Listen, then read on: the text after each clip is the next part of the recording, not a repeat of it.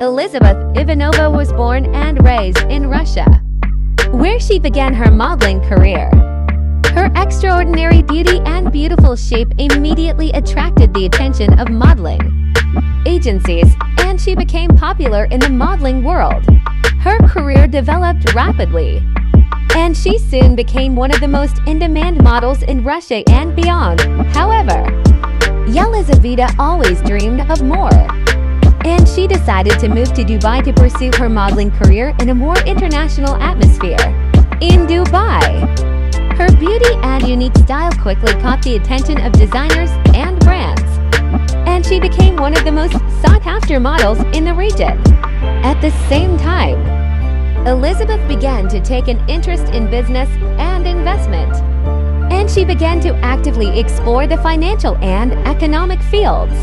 Her unique way of thinking approach helped her to develop a successful business.